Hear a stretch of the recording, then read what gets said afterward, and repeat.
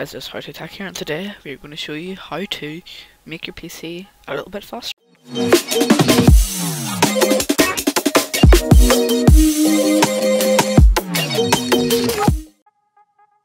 Sure.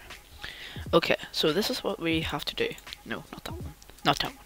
Changing the appearance. So what this means is like changing your appearance of your whole computer. So like go to your start menu, go to system, go to advanced system settings, go to it probably start here, go to advanced, then settings, and do adjust for best performance.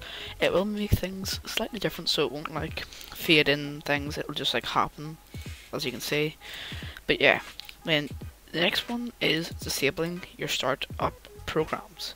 So how you do this is you go to your task manager by doing that. Then you go to, it may start like this, so go to more details, startup, and then here it'll say last BIOS time.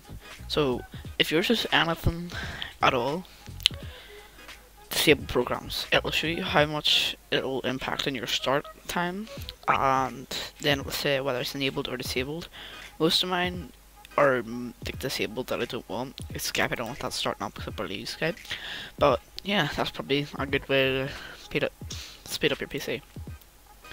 So next way is get rid of unwanted files. So you go down to your search and you go run. And then you go percent temp percent.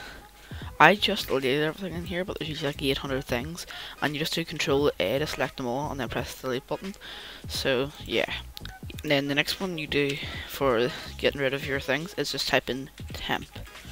I just did this one as well, and it has like 800 things in it. You just do Control A again, and I'll select all of them and then delete them.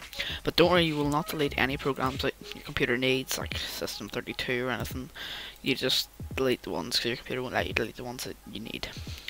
So next one is optimize your drives. So what you want to do is go to your file manager, go to this PC, get any of your drives, right click, properties, tools, optimize, then, as you can see, the, here's all the drives. I only have two actual drives, but there's a recovery drive and there's a volume drive, which I don't actually know what that's for.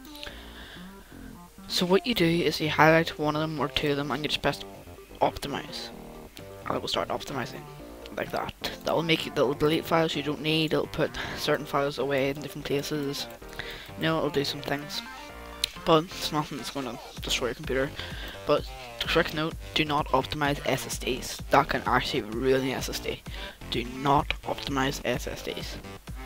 Okay, the next one is uninstall unwanted programs. So right click your start menu button, go to control panel, go to uninstall program, and any programs here you don't want, like let's see, what do I not want?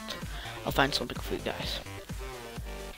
Okay, I don't want Google Earth, so I'll just press that, and then I'll press it uninstall. It'll ask me if I'm, if I'm sure I want to uninstall, I'll press yes, and then this will happen, just, you know, give it a minute, and it's gone, while it was on. Now if I even search for it, it will not come up.